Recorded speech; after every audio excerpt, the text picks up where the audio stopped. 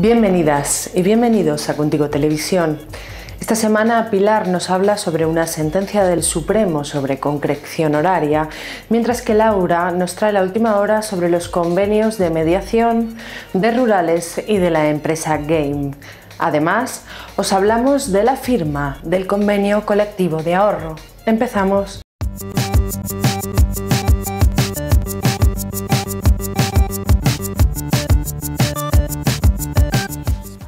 El pasado 28 de junio se alcanzaba un preacuerdo en la negociación del convenio de mediación de seguros privados.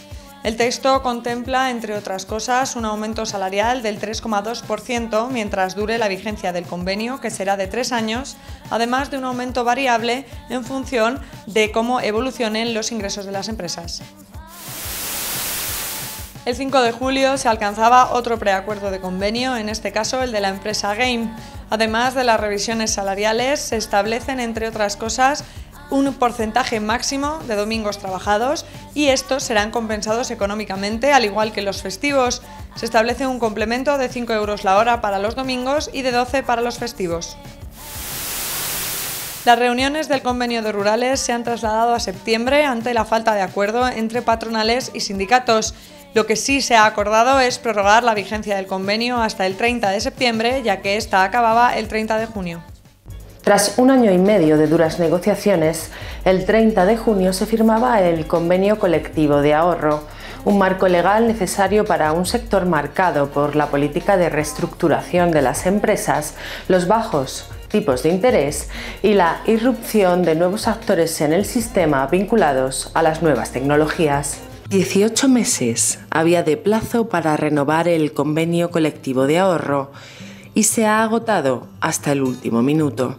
El 30 de junio, día en el que el convenio perdía su vigencia, se firmó el nuevo texto.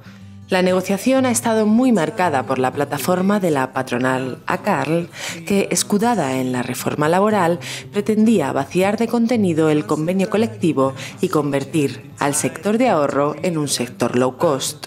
El gran éxito de comisiones obreras ha sido renovar el convenio porque tener un marco legal propio es fundamental en un sector que todavía no ha cerrado el capítulo de la reestructuración congelación salarial, eliminar el límite de 25 kilómetros de la movilidad geográfica, incrementar la jornada anual, suprimir los trienios, pluses y ayudas, eliminar la regulación de los horarios. Estas son solo algunas de las propuestas que la patronal mantuvo encima de la mesa hasta el final. Pero durante estos 18 meses se han encontrado con una respuesta firme, tanto en la negociación como en la calle, concentraciones en las sedes de las empresas, ante las juntas de accionistas, ante el Consejo de la CECA, campañas de recogida de firmas. ACAL no ha tenido más salida que dar un paso atrás en sus pretensiones y firmar un convenio que es un éxito colectivo de todas y todos los que se han movilizado durante meses por un convenio digno. Y lo han conseguido porque no solo se mantiene la estructura, sus derechos adquiridos durante años, sino que además se han firmado mejoras como una revisión salarial de hasta el 4%, una regulación del salario mínimo sectorial en 15.000 euros, el 95% de empleo indefinido, reducción de la jornada los jueves por la tarde, mejoras en préstamos y anticipos, mejoras en conciliación, introduciendo permisos retribuidos para atender circunstancias propias o de familiares, equiparación de las parejas de hecho y los matrimonios, tras 18 meses de esfuerzo colectivo, el sector de ahorro tiene convenio, un buen convenio, tanto por lo que evita como por lo que contiene. La sentencia que hoy os queremos comentar es una reciente del Tribunal Supremo que confirma una de la Audiencia Nacional y que interpreta el artículo del convenio de Contact Center respecto de las reducciones de jornada por guarda legal. La antigua eh, regulación en el Estatuto de los Trabajadores establecía que los trabajadores o las trabajadoras que tuvieran eh, un hijo a su cargo o un familiar dependiente que diera derecho a la reducción de jornada podían optar a una reducción de jornada hasta el 50%.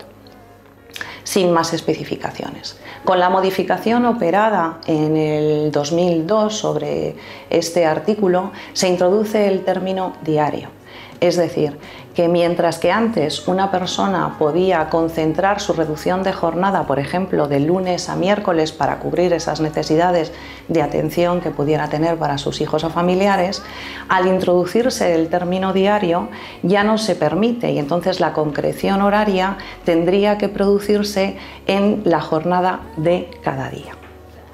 El convenio de Contact Center mantenía, a pesar de haberse firmado después de la reforma del año 2012, mantenía la antigua redacción que venía en el Estatuto de los Trabajadores. La empresa Transcom, en este caso, em, interpretaba que al haber habido una modificación en el, Estatuto de los Trabajadores había que aplicar esta modificación y no lo que recogía el convenio. Obviamente los sindicatos no pensábamos así y entendemos que el convenio lo que establecía es una mejora a la regulación del Estatuto y el resultado de la sentencia ha sido que efectivamente se entiende que lo que debe eh, imponer es la regulación que contempla el convenio colectivo de Contact Center y por tanto eh, esta sentencia que es de aplicación directa en la empresa afectada, Transcom, se extiende, porque versa sobre la interpretación del convenio, a todo el sector de Contact Center. Y hasta aquí hemos llegado se la vi. Pero no te olvides de nosotras mientras tomas el sol en la playa, porque hay tiempo para todo.